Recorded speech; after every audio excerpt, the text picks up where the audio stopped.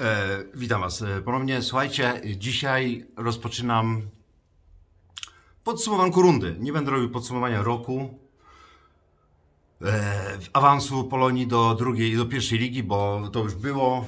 E, zamiast podsumowania roku rozpocznę od podsumowania rundy, e, od dwóch pierwszych spotkań. I tak sukcesywnie e, w tej rundzie, e, w tej rundzie pomiędzy, pomiędzy rundami, boże, w tym czasie pomiędzy rundami, Przelecimy wszystkie spotkania pierwszej ligi. Już sobie przygotowałem o meczu z GKS-em Tychy i o meczu z Wisłą Kraków na, na Konwiktorskiej. Pierwszy mecz e, z Tychami przegrany 2-3. E, To było jakby, jakby potwierdzenie spotkań Wisły na własnym stadionie. No, było spoko, ale czegoś brakowało, żeby wygrać. Tylko tyle Wam przypomnę, że w meczu z Tychami Polonia straciła bramkę w ostatniej w ostatniej minucie meczu. Dobra, słuchajcie, jedziemy najpierw od e, artykułu e, z meczu z Tychami. Znalazłeś kurę. Ciężko to było znaleźć w necie. Już tak, już tak internet zakopany jest e, tymi rzeczami, które od 22 lipca się wydarzyły, że nie jest to aż tak proste, jak mi się wydawało. Dobra, dobra, słuchajcie, więc tak. Nagłówek w przeglądzie sportowym. Nieudany powrót Polonii do pierwszej ligi. Porażka na otwarcie sezonu. Polonia Warszawa w pierwszym meczu po powrocie do pierwszej ligi przegrała z GKS-em Tychy 2-3. Stołeczny zespół już po 10 minutach prowadził 2-0, ale potem rywali, rywale ostrzygnęli mecz na swoją korzyść. Gospodarzy pogrążył ich były piłkarz, którego można nazwać wychowankiem e, klubu. E, warszawski zespół 12-13 grał w Ekstraklasie, to już jest dalej artykuł, ale ówczesny właściciel klubu Ireneusz Król, kawał trochę, nie płaci piłkarzom ani innym pracownikom. E, chciałbym przypomnieć e, wspaniały baner, który widniał na trybunach. E, jestem w Wiedniu, robi przelew, który mówił mniej więcej wszystko o tym, jak zachowywał się pan pseudo-prezes, pseudo-król. Zastanawiam się w ogóle, co się dzieje z tym człowiekiem. Jeżeli, jeżeli można mu na, na Twitterze pisać śmieszne rzeczy, chętnie bym to dla, dla jaj robił. No i dobra, król się wycofał, wycofał, kurde, oszukał, znaczy oszukał. On chyba według prawa mógł brać krasę Kanal Plus, nie? Tylko po prostu nie musiał się nią dzielić. Na tym rzecz polegała. W każdym razie król się wycofał, oszukani piłkarze i członkowie sztabu szkoleniowego odeszli, a nowe władze odbudowały klub od poziomu czwartej ligi. Dobra, ta odbudowa przebiegła dość mozolnie, ale wszystko zmieniło przejęcie klubu przez Grygora Nitota. Polonia w trzeciej i drugiej lidze wyróżniała się finansowo na rywali, miała jak na, te, na, jak na realia tych lig dość mocny skład i awansowała do pierwszej ligi, gdzie jednak czeka ją trudniejsze zadanie. Francuski biznesmen latem nie wzmocnił drużyny znanymi piłkarzami. Przyszło dziewięciu nowych zawodników, ale tylko Dariusz Pawłowski, gościu, gościu który potrafi grać w piłkę, Oliver Wojciechowski i Szymon Kubiński. Kurde, jakiś błąd, błąd, panie, drodzy Państwo, w przeglądzie sportowym. Kto to w ogóle pisał? Maciej Kaliczuk. Panie Macieju, nie Kubiński. E, w każdym razie grali w Ekstraklasie. Tyle, tyle, że dwa ostatni zaliczyli w niej dość krótkie epizody. Z nowego zaciągu w pierwszym składzie znaleźli się tylko Pawłowski i bramkarz Mateusz Kuchta. Słuchajcie, aha, w ogóle sorry za, za nie dość jasny y, obraz, ale nie mam takiej lampki, nie? Jak mają to y, wszyscy youtuberzy. Y, ja nie jestem youtuberem, jestem jedynie gościem, który gada do telefonu.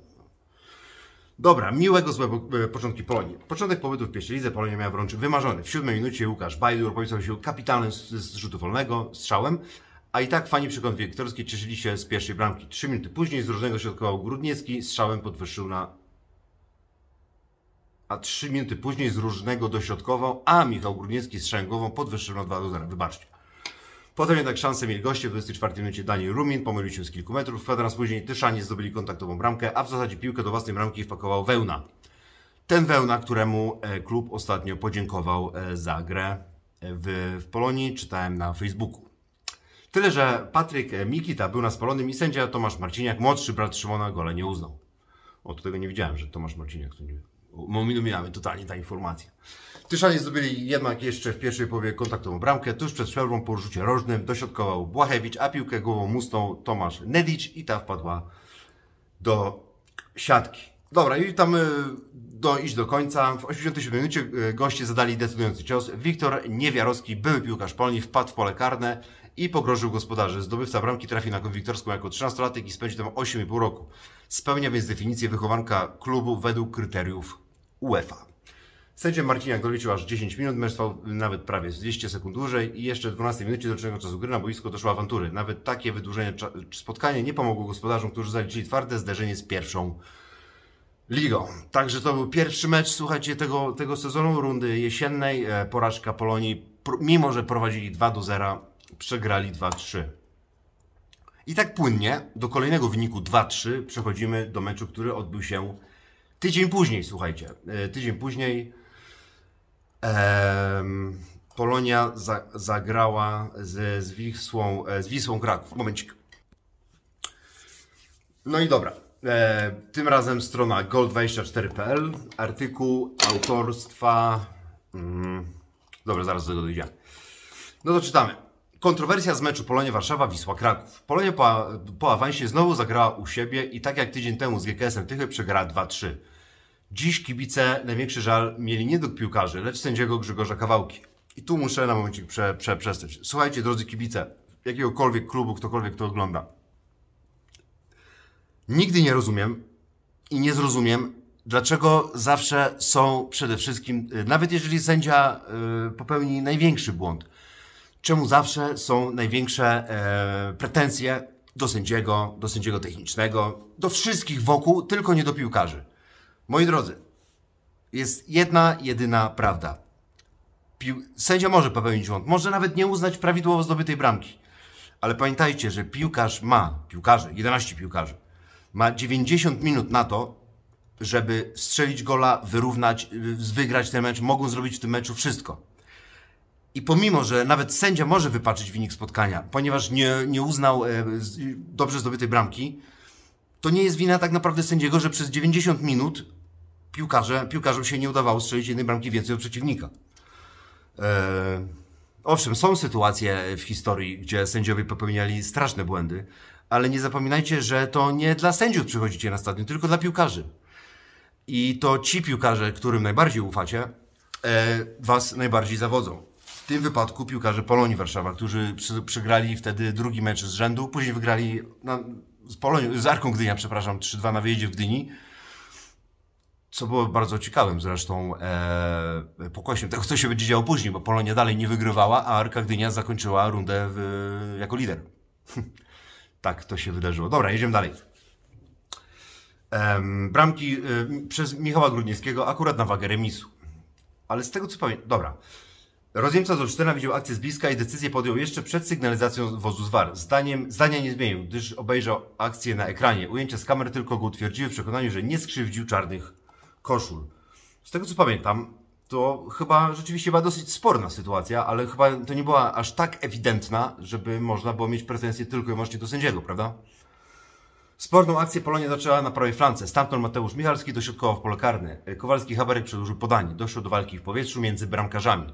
Naciskany przez Kuchtę, Alvaro Raton wprawdzie odbił piłkę ręką, ale, nie zrobił, ale zrobił to na tyle nieszczęśliwie, że spadła po nogi Gruńskiego, który bez problemu umieścił ją w siatce. Komentatorzy Polsatu Sport zastanawiali się, czy chodzi o zagranie piłki ręką przez Kuchtę, czy może jego ewentualny faul na Ratonie. W międzyczasie sędzia oglądał kulną i powtórki, a pice krzyczeli złodzieje, złodzieje. Nie widzę, e, nie widzę, przyznam szczerze, zagrania ręką, mówił e, Tomek Łapiński w Polsacie, któremu wtorował Cezary Kowalski. Kuchta bynajmniej nie dno piłki ręką, to znaczy nie zrobi tego w niedozwolony przez regulamin sposób. Chodzi ewentualnie o e, ewentualne przewinienie na koledze po fachu. Ten wynik sprawia, że Polonia z zerowym dorobkiem jest na samym dole w tabeli, natomiast Wisła 4 punkty pozostaje w kontakcie z Miedzią Legnica i Motorem Lubin, czyli drużynami, które ugrały komplet po dwóch e, kolejkach. Momencik. No dobra, podam w ogóle linka, ale obejrzałem przed chwilą e, powtórkę tutaj na, na Twitterze, e, na stronie. No i Kuchta faulował, faulował tego bramkarza. No, wiecie, no jest taki przepis chyba, że bramkarz nie może być, e, nie może być nawet dotknięty w tej swojej piątce, nie? W tym, tym, w tym, w tym, w tym, w tym prostokącie obok bramki.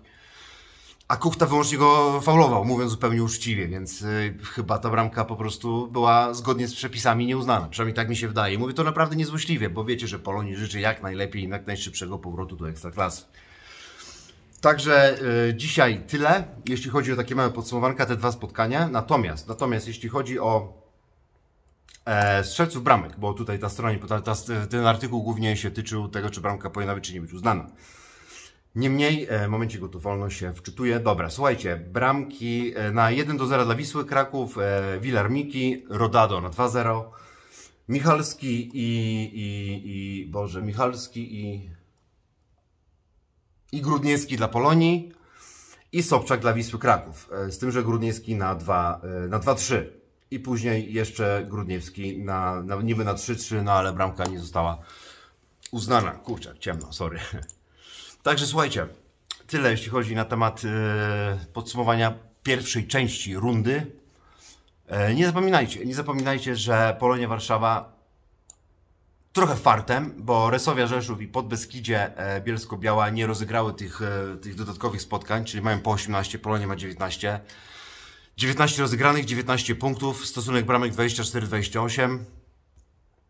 Także e, nie jest najgorzej, ponieważ wszystko mają w swoich rękach, natomiast no, też nie jest najlepiej, bo zobaczymy, jak to będzie wyglądało, jak to będzie wyglądało w głowach samych piłkarzy, sztabu. No, nie wiem, nie umiem, nie umiem tego. Ja nie jestem dziennikarzem, nie jestem, nie jestem fachowcem, ja jestem tylko kolesiem, który sobie biadoli czasami do telefonu. Niemniej życzę Polonii e, w, w tym wypadku e, pozostania w tej, e, w tej pierwszej lidze, no bo tak, Warszawa, Warszawa powinna mieć przynajmniej jedną drużynę w pierwszej lidze i w Ekstraklasie, a najlepiej gdyby to były dwie drużyny i były normalne derby w Ekstraklasie, tak jak Pan Bóg przekazał i to było jeszcze 10-11 lat temu i całe lata wstecz. Dobra, słuchajcie, życzę Wam miłego wieczorka. Będzie nagrywanko. Zrobię to samo z Arką Gdynia, bo nie mogę się powstrzymać. E, Postaram się po więcej meczów, meczy, natomiast e, tak jak mi czas na to pozwoli. Tyle. Trzymajcie się i cześć.